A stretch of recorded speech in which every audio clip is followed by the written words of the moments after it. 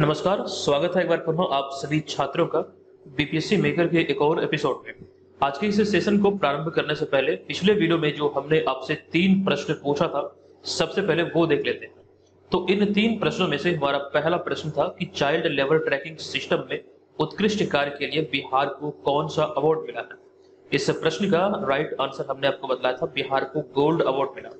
दूसरा प्रश्न हमने पूछा था कि हाल ही में आयोजित एफ़ आई एच पुरुष हॉकी प्रो लीग 2023 प्रतियोगिता का खिताब किस देश ने जीता? तो इस प्रतियोगिता का जो खिताब था, ये नीदरलैंड ने अपने नाम किया। हालाँकि भारत की दृष्टिकोण से बात करें तो हमने आपको बताया था कि भारत इस प्रतियोगिता में चौथे स्थान पर रहा।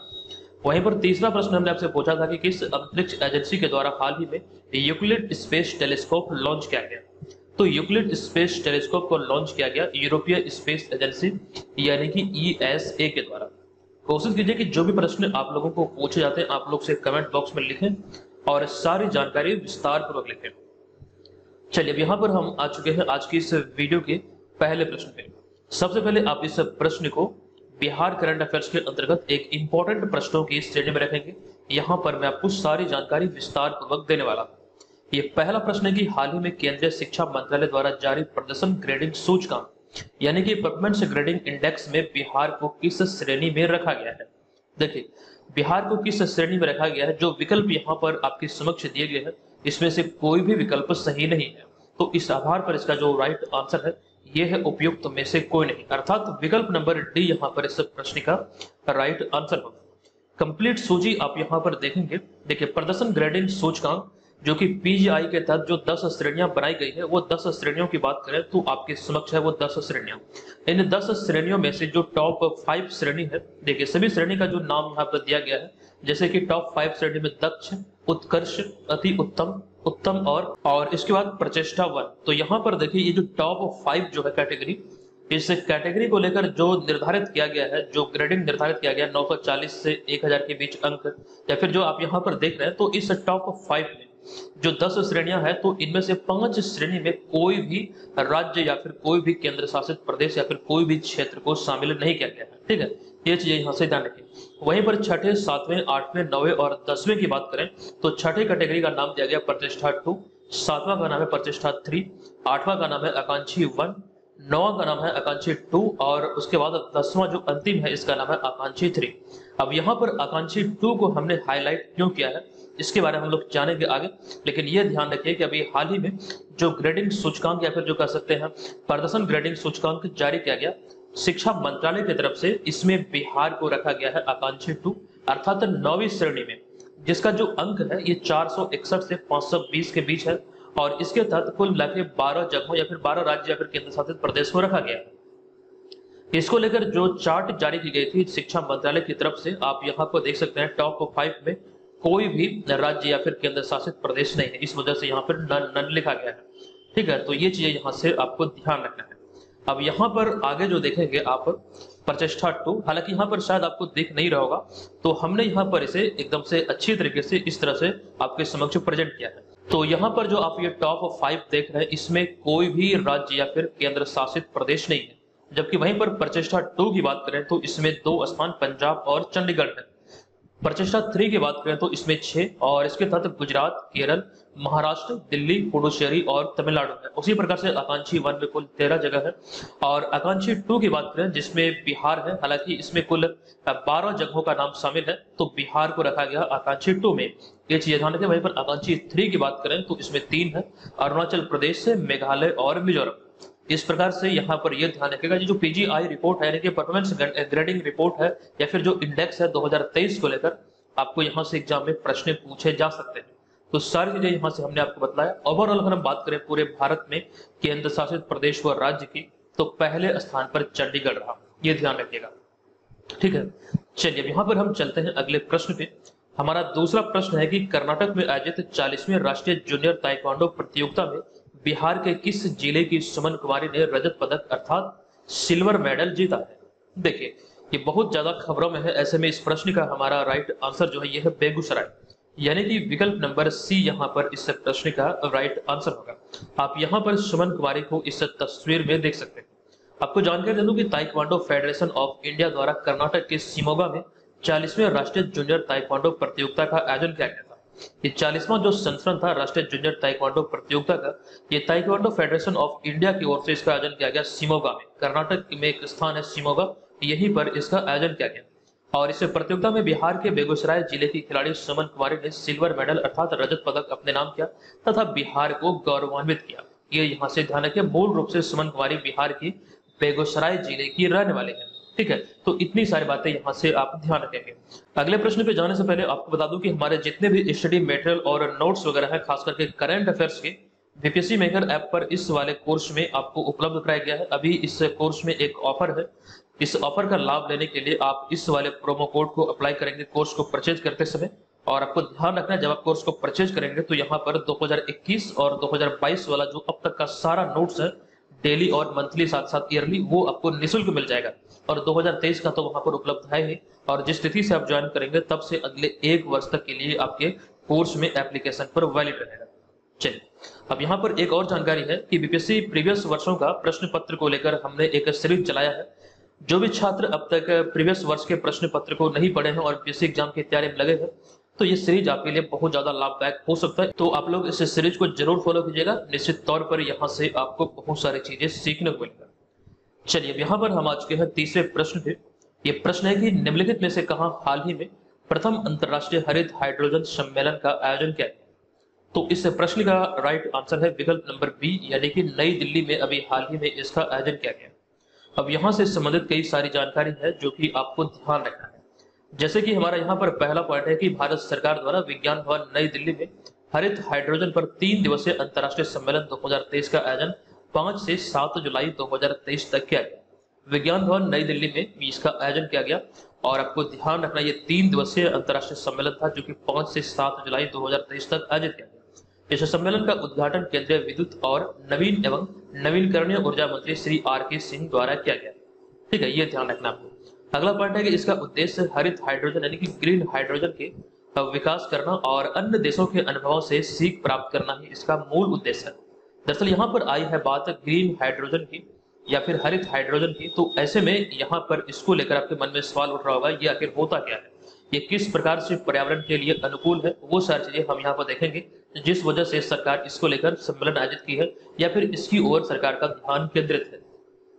दरअसल हरित हाइड्रोजन की बात करें तो इसे अंग्रेज़ी में कहा जाता है ग्रीन हाइड्रोजन, जिसका सूत्र जो है, यह है जी एच टू और आपको ध्यान करना यह नवीकरणीय ऊर्जा या फिर निम्न कार्बन शक्ति से उत्पन्न हाइड्रोजन को कहा जाता है। दरअसल अगर इसको विस्तार से हम समझे तो हरित हाइड्रोजन एक स्वच्छ ऊर्जा स्रोत है, जो कि पवन, सौर और जल विद्युत जैसे नवीकरणीय ऊर्जा स्रोतों का उपयोग करके जल के विद्युत अपघटन, यानी कि इलेक्ट्रोलाइसिस के माध्यम से उत्पादित किया जाता है। ये यहाँ से ध्यान की एक प्रकार से पर्यावरण के अनुकूल होता है। ठीक है? स्वच्छ ऊर्जा स्रोत का एक उदाहरण है तो इसको लेकर यहाँ पर ये सारी चीज़ें ध्यान रखेगा और इसी दृष्टिकोण को ध्यान रखते हुए अभी हाल ही में हरित हाइड्रोजन पर एक तीन दिवसीय सम्मेलन आयोजित हुआ, नई दिल्ली के विज्ञान भवन में पाँच से सात जुलाई 2023 को। विकल्प नंबर यहाँ पर बी इस प्रश्न का राइट आंसर था। नेक्स्ट चौथा प्रश्न है कि लिमरिक आयरलैंड में आयोजित विश्व तिरंदाजी युवा चैंपियनशिप 2023 के संबंध में कौन सा विकल्प सत्य है? हमें यहाँ पर सत्य विकल्प की पहचान करना है। जैसे कि इस प्रकार के जैसे, जब भी प्रश्न एग्ज़ाम में बने तो सारे विकल्पों को आपको ध्यान पूर्वक पढ़ना है। तो सबसे पहला जो विकल्प हमारा है कि यह इसका अठारवा संस्करण था। तो ये तो कथन हमारा यहाँ पर बिल्कुल सत्य है और हमें सत्य कथन की पहचान करना है। लेकिन हम यहीं पर रुकेंगे नहीं क्योंकि यहाँ पर हमें तीन चार विकल्प और दिए गए हैं तो सारे विकल्पों को, को पढ़ेंगे अगर हो सकता है एक और विकल्प सही हो गया तो ऐसी स्थिति में हमारा राइट आंसर हो जाएगा विकल्प नंबर एक यानी कि जो आंसर है वो चेंज हो जाएगा। ठीक है? तो इसलिए अगर यहाँ पर पहला ही विकल्प सही हो तो सारे विकल्पों को चेक करना अति आवश्यक है। तो दूसरा विकल्प यहाँ पर है कि भारत शीर्ष स्थान पर ये विकल्प यहाँ पर हमारा औसत्य है। भारत ने पैंसठ पदक जीते, ये भी विकल्प हमारा यहाँ पर औसत्य है। तो फाइनली एक ही आंसर यहाँ पर सही हुआ, यानी कि विकल्प नंबर ए ही सही हुआ तो इसका जो राइट आंसर होगा, ये विकल्प नंबर ए ही हो जाएगा। अब यहाँ पर इसको लेकर जो चीज़ें आप ध्यान रखेंगे विस्तार पूर्वक हमने हालाँकि सारी जानकारी आपके समक्ष रखा है। जैसे कि विश्व तिरंदाजी युवा चैंपियनशिप 2023 का जो आयोजन है, ये अठारवा संस्करण था। इसका आयोजन अभी हाल ही में एक से नौ जुलाई 2023 तक लिमरिक आयरलैंड में किया गया। ये यहाँ पर ध्यान रखिएगा, एक से नौ जुलाई 2023 तक इसका अठारहवें संस्करण का जो आयोजन है, विश्व तिरंदाजी युवा चैंपियनशिप का, ये लिमरिक एक स्थान है आयरलैंड में, यहीं पर इसका आयोजन किया गया। अब इसको लेकर जो पदक तालिका है, वो आपको ध्यान रखना है। जैसे दक्षिण कोरिया ने कुल ग्यारह पदक जीते और पहले स्थान पर रहा। वहीं पर हम भारत की बात करें तो भारत भी कुल ग्यारह पदक अपने नाम किया, हालाँकि भारत को दूसरे स्थान पर रखा गया। वजह यहाँ पर यह है, देखिए, सिल्वर पदक की बात करें, जैसे कि अगर किसी दो टीम का अगर टोटल पदक का जो संख्या एक जैसा होता है तो जो उसका निर्धारण होता है, वो स्वर्ण पदक के आधार पर होता है। यहाँ पर कंडीशन ये हो गया कि टोटल जो पदक है टोटल जो मेडल था, वो तो बराबर हुआ, साथ ही साथ जो स्वर्ण पदक था, वो भी बराबर हो गया। इस आधार पर, उसके बाद यहाँ पर रजत पदक अर्थात सिल्वर मेडल के आधार पर यहाँ पर दोनों स्थानों का चुनाव हुआ। तो इस लिहाज से दक्षिण कोरिया ऊपर रह गया और भारत दूसरे स्थान पर रहा। विश्व युवा तिरंदाजी चैंपियनशिप में, यानी कि विश्व तिरंदाजी युवा चैंपियनशिप में भारत का अब तक का ये बेहतर परफॉर्मेंस है। कुल 11 पदक के साथ भारत इसमें दूसरे स्थान पर रहा। हालाँकि वहीं पर तीसरे स्थान की बात करें तो तीसरे स्थान पर अमेरिका रहा, जिसने कुल 10 पदक अपने नाम किया, तीन स्वर्ण, तीन रजत और चार कांस्य पदक। तो ये टॉप थ्री देशों की सूची है, इसको लेकर यहाँ से आप ध्यान रखेंगे। इस प्रतियोगिता से संबंधित कुछ प्रश्न एग्ज़ाम में पूछे जा सकते हैं। कि इस प्रतियोगिता में सातारा महाराष्ट्र के पात्र सालुंके रिकर्व वर्ग में स्वर्ण पदक जीतने वाले प्रथम पुरुष तीरंदाज बने। अगर भारत की दृष्टिकोण देखें तो प्रथम पुरुष तीरंदाज है पार्थ सोलंके, जो कि रिकर्व वर्ग में इन्होंने गोल्ड मेडल अपने नाम किया। और वहीं पर बिहार की दृष्टिकोण से देखें तो इसको लेकर हमने आपको जानकारी दिया था कि इसमें भारतीय जोड़ी प्रियांश जो कि बेगूसराय बिहार के रहने वाले हैं और इसके अतिरिक्त अवनीत कौर ने जूनियर मिश्रित टीम कंपाउंड स्पर्धा में स्वर्ण पदक जीता। हालाँकि बिहार के प्रियांश ने एक खिताब और भी अपने नाम किया कि इसके अतिरिक्त प्रियांश ने। पुरुष अंडर 21 व्यक्तिगत फाइनल में स्लोवेनिया के अल्जाच ब्रैंड को हराकर गोल्ड मेडल अपने नाम किया। तो ये भी आप यहाँ से ध्यान रखेंगे। प्रियांश के बारे में आपको ध्यान रखना ये मूल रूप से बिहार के बेगूसराय के रहने वाले तो इस प्रश्न से इतनी सारी जानकारी फ़िलहाल ध्यान रखिए यहाँ से एग्ज़ाम में प्रश्न पूछे जा सकते हैं। नेक्स्ट अब यहाँ पे हमारा होगा अगला पांचवा प्रश्न। ये प्रश्न है कि किस राज्य सरकार ने राज्य में हाल ही में मौ जंगल जामी योजना शुरू किया है। तो इस प्रश्न का हमारा राइट आंसर होगा उड़ीसा। इस मौ जंगल जामी योजना का जो संबंध है, ये मूल रूप से उड़ीसा से। इसको लेकर कई चीज़ें आपको याद रखना है, जैसे कि पहला पॉइंट यहाँ पर है कि मौ जंगल जामी योजना की शुरुआत उड़ीसा सरकार के द्वारा किया गया। दरअसल यहाँ पर आपको ध्यान रखना इस योजना का उद्देश्य अनुसूचित जनजातियों और वन में रहने वाले आबादी के लिए आजीविका और खाद्य सुरक्षा सुनिश्चित करना और साथ ही साथ उन्हें भूमि का स्वामित्व भी प्रदान करना। ये इसका दो तीन मूल उद्देश्य है, जिसको लेकर अभी हाल में उड़ीसा सरकार के द्वारा मऊ जंगल जामी योजना की शुरुआत किया गया। और इस योजना की बात करें तो इस योजना से राज्य के लगभग सात लाख लोगों को मदद मिलेगा। अगर इस प्रकार से देखा जाए तो उड़ीसा भारत का पहला राज्य बना है, जो कि व्यक्ति और समुदाय दोनों को वन सामुदायिक अधिकार प्रदान करेगा। यानी कि यहाँ पर जो जानकारी हमने इस योजना के उद्देश्य के तहत दिया कि अनुसूचित जनजातियों और वन में रहने वाले आबादी के लिए आजीविका और खाद्य सुरक्षा सुनिश्चित करना और साथ साथ उन्हें भूमि का स्वामित्व प्रदान करना, ऐसा पहल करने वाला भारत का पहला राज्य बनकर उभरा है उड़ीसा। और इसको संचालित किया जाएगा मऊ जंगल जामी योजना के अंतर्गत। अब यहाँ पर हम आ चुके हैं छठे प्रश्न पे। ये प्रश्न है कि निम्नलिखित में से किस बैंक ने हाल ही में कामेश्वर राव ओदावंती को अपना नया मुख्य वित्तीय अधिकारी यानी कि चीफ फाइनेंशियल ऑफिसर अर्थात सीएफओ नियुक्त किया है? किस बैंक ने?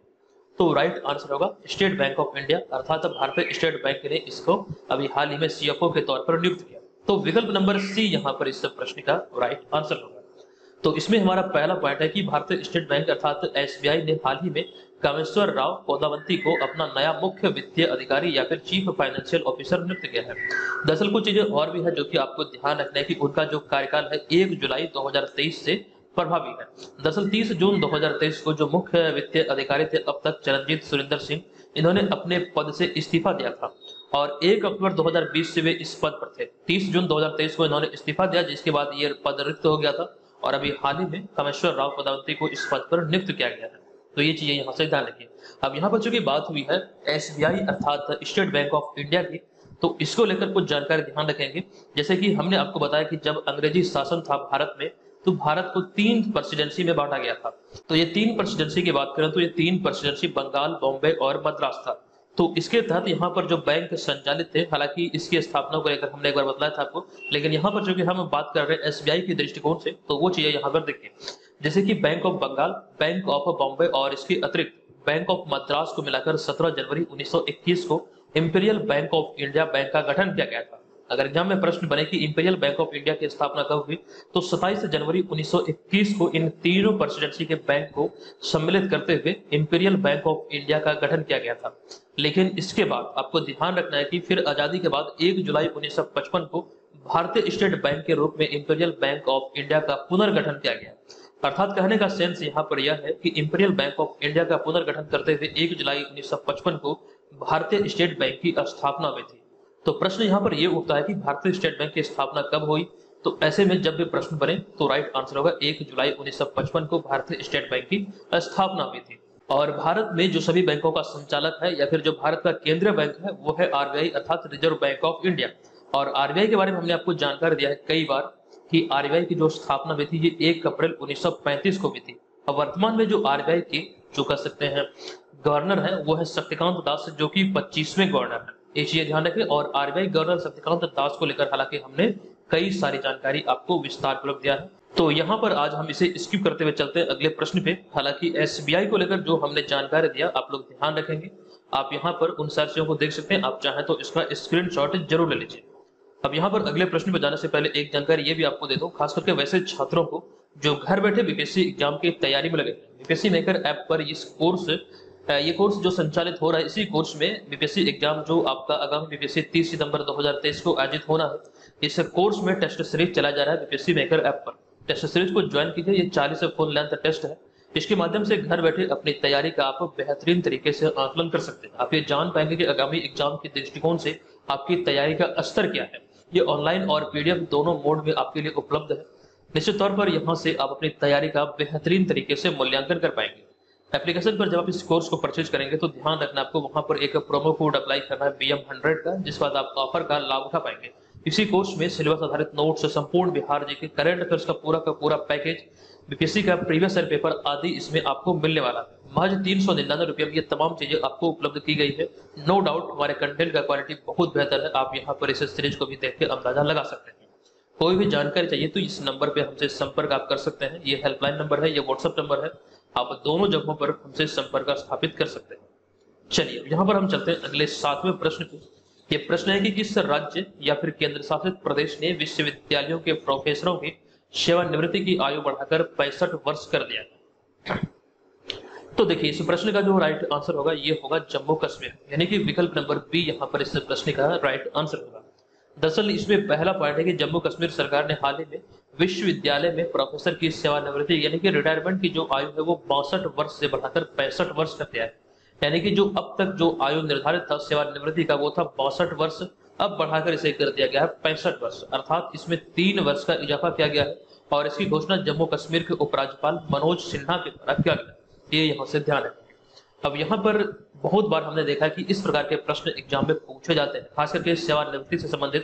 तो मौजूदा समय में सेवानिवृत्ति की हम बात करें जहाँ से एग्ज़ाम में प्रश्न कई बार रिपीट हुए जैसे कि सर्वोच्च न्यायालय के न्यायाधीश की जो सेवानिवृत्ति की जो कह सकते हैं, आयु होती है, वो पैंसठ वर्ष की होती है। सामान्यतः पैंसठ वर्ष की जो सेवानिवृत्ति की आयु होती है, वो ध्यान रखना जबकि वहीं पर हम बात करें, सुप्रीम कोर्ट के अतिरिक्त हाईकोर्ट अर्थात उच्च न्यायालय की तो उच्च न्यायालय में ये जो आयु निर्धारित होती है, वो बासठ वर्ष की होती है।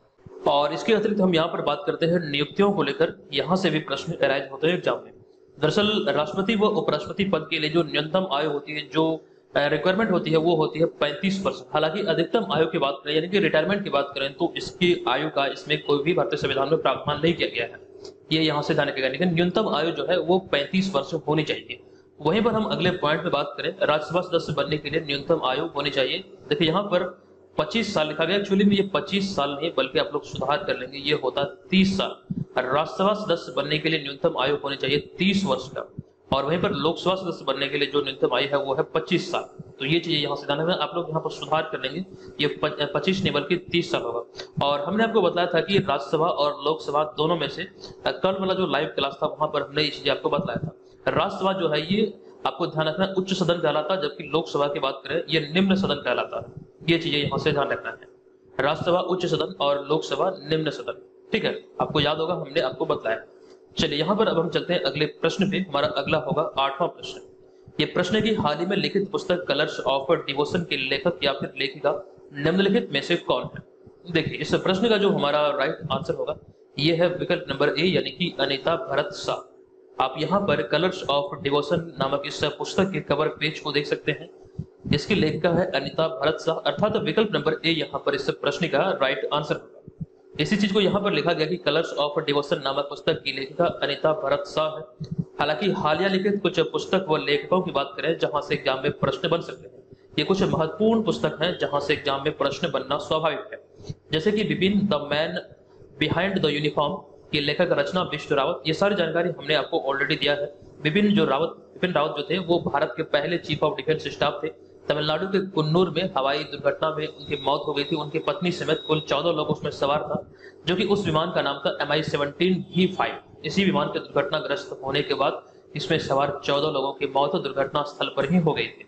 तो Vipin the man, behind the uniform की लेखिका है Rachna Bisht Rawat.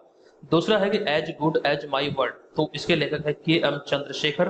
War and women के लेखक है एम ए हसन। अगला है तुम पहले क्यों नहीं आए? इसके लेखक हैं कैलाश सत्यार्थी। जादू नामा के लेखक जावेद अख्तर, इसके अतिरिक्त विनिंग द इनर बैटल के लेखक है सेन वाटसन, जीते जी इलाहाबाद इसके लेखक है ममता कालिया। नेक्स्ट है यहाँ पर India economy from Nehru to Modi इसके लेखक है Bhopale Balakrishnan.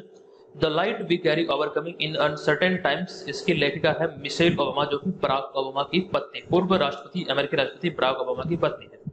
तो ये सारी बातें या ये सारे पुस्तक और लेखक और लेखिकाओं का जो नाम है एग्ज़ाम में पूछे जा सकते हैं सारे चुनिंदे हैं, सारे अति महत्वपूर्ण है। नेक्स्ट अब यहाँ पर हम चलते हैं अगले प्रश्न पे। हमारा नवा प्रश्न है कि निम्नलिखित में से किस भारतीय बैडमिंटन खिलाड़ी ने कनाडा ओपन 2023 का खिताब जीता है? इस प्रश्न का हमारा राइट आंसर होगा विकल्प नंबर बी यानी कि लक्ष्य सेन आप इन्हें यहाँ पर इस तस्वीर में भी देख सकते हैं। ये अल्मोड़ा, उत्तराखंड के रहने वाले हैं। आपको यहाँ पर वो सारी जानकारी मिलेगी, जैसे कि अल्मोड़ा, उत्तराखंड के बैडमिंटन खिलाड़ी लक्ष्य सेन ने हाल ही में कनाडा ओपन 2023 का खिताब जीतकर देश को गौरवान्वित किया है। हालाँकि 2023 में यह उनका पहला खिताब है। लक्ष्य सेन की बात करें तो ये महज 21 वर्ष के हैं। ये भी यहाँ से आप ध्यान रखेंगे। लक्ष्य सेन उत्तराखंड के हैं और वो महज 21 वर्ष के हैं। यहाँ पर हमारा अगला पॉइंट है कि उन्होंने मेंस सिंगल्स के फाइनल में चीनी सटलर लीसी फैंग को हराकर इस खिताब को अपने नाम किया है। अर्थात गोल्ड मेडल कनाडा ओपन 2023 का अपने नाम किया। और चीनी सटलर ली सी फैंग को रजत पदक अर्थात सिल्वर मेडल से संतुष्ट होना पड़ा। अब यहाँ पर हमने चर्चा किया लक्ष्य सैन की तो लक्ष्य सैन को लेकर कुछ चीज़ें आप यहाँ पर ध्यान रखेंगे कि 2022 में बर्मिंगम, ब्रिटेन में आयोजित जो हुआ था बाईसवां राष्ट्रमंडल खेल तो यहाँ पर इन्होंने भारत को गोल्ड मेडल अर्थात तो स्वर्ण पदक दिलाया था। हालाँकि यहाँ पर कुछ चीज़ें और भी है कि भारत सरकार ने नवंबर 2022 में, यानी कि जो राष्ट्रमंडल खेल आयोजित हुआ था, इसके उपरांत नवंबर 2022 में बैडमिंटन के लिए उन्हें अर्जुन पुरस्कार से सम्मानित किया गया था भारत सरकार की तरफ़ से। ये चीज़ें यहाँ पर ध्यान रखें अब जो यहाँ पर हमने चर्चा किया, ये बाईसवें राष्ट्रमंडल खेल के बारे में, इसको लेकर कुछ चीज़ें हम लोग देख लेते हैं। जैसे कि बर्मिंगम राष्ट्रमंडल खेल या फिर बर्मिंगम कॉमनवेल्थ गेम्स का जो आयोजन था, ये 28 जुलाई 2022 से 8 अगस्त 2022 तक किया गया था। और ये इस कह सकते हैं इसका जो संस्करण था, ये था बाईसवां संस्करण। ये भी आपको यहाँ से ध्यान रखना है। संस्करण को लेकर भी एग्ज़ाम में प्रश्न बनते हैं। और भारतीय एथलीटों के दृष्टिकोण से देखें तो इसमें भारतीय एथलीट ने बाईस स्वर्ण पदक सोलह रजत और तेईस कांस्य पदक अपने नाम किया था ओवरऑल भारतीय टीम का या फिर भारतीय एथलीट का जो पदक था वो इकसठ पदक था। अब यहाँ पर मैं आपसे एक प्रश्न पूछ रहा हूँ, जिसका आंसर आपको कमेंट बॉक्स में करना है। वीडियो को पॉज कीजिए, कमेंट बॉक्स में जाइए, वहाँ पर कमेंट कीजिए कि बर्मिंगम राष्ट्रमंडल खेल जो आयोजित हुआ था 2022 यानी कि पिछले वर्ष पदक तालिका में भारत को कौन सा स्थान मिला? आप लोग कमेंट बॉक्स में जाइए, वहाँ पर लिखिए कि पदक तालिका में भारत को कौन सा स्थान मिला? देखते हैं कितने छात्रों को पता समझिए कि यह प्रश्न आपके बीपीएससी एग्ज़ाम में पूछा गया प्रश्न है और आपको हर हाल में इसे सॉल्व करना और वहाँ पर जाकर कमेंट कीजिए, कोई चीटिंग नहीं करेंगे। बताइए इसका राइट आंसर क्या क्योंकि यहाँ पर बैडमिंटन की बात हुई तो बैडमिंटन का जो सर्वोच्च संस्था यह है विश्व बैडमिंटन महासंघ। और अगर हम बात करें इसकी स्थापना की, यह स्थापना हुई थी पाँच जुलाई उन्नीस सौ चौंतीस को। और नौ संस्थापक सदस्य देशों के साथ लंदन में इसकी स्थापना की गई थी। और आपको ध्यान रखना, स्थापना Canada, Denmark, England, France, Ireland, Netherland, New Zealand, Scotland और वेल्स के साथ हुई थी। हालाँकि वर्तमान में इस महासंघ में एक सौ छियानवे सदस्य संघ है या फिर देश है और इसका मुख्यालय जो है, ये कोलालमपुर मलेशिया में स्थित है। हालाँकि स्थापना के वक्त जो इसका मुख्यालय था, ये चेल्टे हैन में, यूनाइटेड किंगडम में था, लेकिन एक अक्टूबर 2005 से इसे कोलालमपुर स्थानांतरित कर दिया गया, जो कि मलेशिया की राजधानी है। तो ये चीज़ें यहाँ से ध्यान रखें। नेक्स्ट अब यहाँ पर हम चलते हैं अगले प्रश्न पे। हमारा अगला होगा दसवां प्रश्न। ये प्रश्न की निम्नलिखित में से किसने हाल ही में ब्रिटिश ग्रैंड प्रिक्स 2023 का खिताब जीता है? तो इस खिताब को भी हाल ही में अपने नाम किया है मैक्स वेस्टेपन ने, और विकल्प नंबर ए यहाँ पर इस प्रश्न का राइट आंसर होगा। हाल ही में आयोजित ब्रिटिश ग्रैंड प्रिक्स 2023 का खिताब रेडबुल के formula one driver Max Verstappen ने इस खिताब को अपने नाम किया। यानी कि ब्रिटिश ग्रैंड प्रिक्स जो फार्मूला वन रेसिंग प्रतियोगिता है इसका खिताब अभी हाल ही में रेडबुल के ड्राइवर मैक्स वेस्टेपन ने अपने नाम किया। या फिर ड्राइवर या फिर रेसर भी बोल सकते हैं कि रेडबुल के जो रेसर है मैक्स वेस्टेपन इन्होंने इस किताब को अपने नाम किया। जबकि वहीं पर दूसरे स्थान की बात करें तो मैकर रेलन के लैंडो नॉरिस दूसरे स्थान पर रहे, जबकि मर्सिडीज के रेसर लुइस हैमिल्टन इसमें तीसरे स्थान पर रहे। हालाँकि इसको लेकर हमने, यानी कि फार्मूला वन को लेकर हमने सारी चीज़ें आपको विस्तार पूर्वक बताया। 2023 में जो ये फार्मूला वन रेसिंग प्रतियोगिता आयोजित हुई है तो इसके विजेताओं की जो सूची है अब तक की, वो यहाँ पर हमने आपके समक्ष रखा है। जो अब तक आयोजित हुए हैं, वो आप यहाँ पर देख सकते हैं। हालाँकि इसमें से एक ये वाला जो है इमेलिया रोमेग्ना ग्रैंड फ्रिक्स ये वाला कैंसिल हुआ था, यानी कि रद्द हुआ बारिश और बाढ़ के कारण। तो ये रद्द हो चुका है, इसका रिज़ल्ट नहीं आया। तो ये चीज़ें भी आप यहाँ पर ध्यान रखेंगे। कारण ये था कि बारिश और बाढ़ के कारण ही इसे रद्द कर दिया गया। लेकिन अभी हाल ही में ब्रिटिश ग्रैंड प्रिक्स का खिताब जीता है मैक्स जो कि फार्मूला वन रेडबुल के रेसर है। नेक्स्ट ग्यारह प्रश्न की हाल ही में खबरों में रहा थ्रेड्स मोबाइल ऐप को किस कंपनी द्वारा लॉन्च किया गया? थ्रेड्स मोबाइल ऐप की बात करें तो इसे अभी हाल ही में लॉन्च किया गया है मेटा की तरफ़ से। विकल्प नंबर ए यहाँ पर इस प्रश्न का राइट आंसर होगा। दरअसल, मार्क जुगरबर की, जो स्वामित्व वाली कंपनी है मेटा तो 6 जुलाई 2023 को थ्रेड्स नामक एक मोबाइल ऐप को लॉन्च किया गया मेटा की तरफ़ से।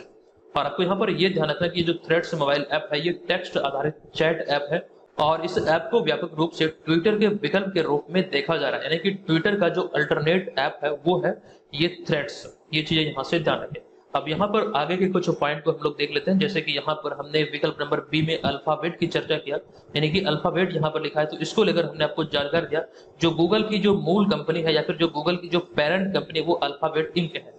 और उसके बाद यहाँ पर विकल्प नंबर सी में हमने लिखा अली बाबा और अली बाबा की बात करें तो अली बाबा जो है, ये अली बाबा ग्रुप चीन की एक कंपनी है, और इसके संस्थापक है जैकमा ये यहाँ से ध्यान रखना है। इतनी सारी जानकारी यहाँ से आपको मिलती है।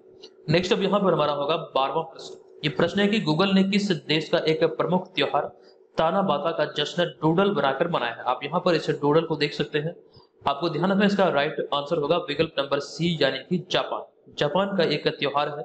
अभी हाल ही में गूगल गूगल ने जापान के इस प्रमुख त्योहार ताना बाता का जश्न डूडल बनाकर मनाया है या फिर इसे सेलिब्रेट किया है, ये चीज़ यहाँ से ध्यान रखें अब यहाँ पर हम आज के आज की इस वीडियो के प्रश्न पे, ये तीन प्रश्न भी आज के इस वीडियो में है। पहला प्रश्न है कि बिहार के उद्योग मंत्री समीर कुमार महासेठ ने हाल ही में बिहार के किस ज़िले में खादी मॉल खोलने की घोषणा की? दूसरा प्रश्न है कि भारत और किस देश ने 7 जुलाई 2023 को चुनावी सहयोग के लिए समझौता ज्ञापन पर हस्ताक्षर किया। तीसरा प्रश्न है कि हाल ही में किस देश ने भारत से आयातित सभी फार्मा उत्पादों पर सख्त गुणवत्ता नियंत्रण जाँच का आदेश दिया है? ये तीनों प्रश्नों की जानकारी ऑलरेडी हमने आपको दे दिया है। आप लोग कमेंट बॉक्स में लिखिए कि इसका राइट आंसर क्या होगा।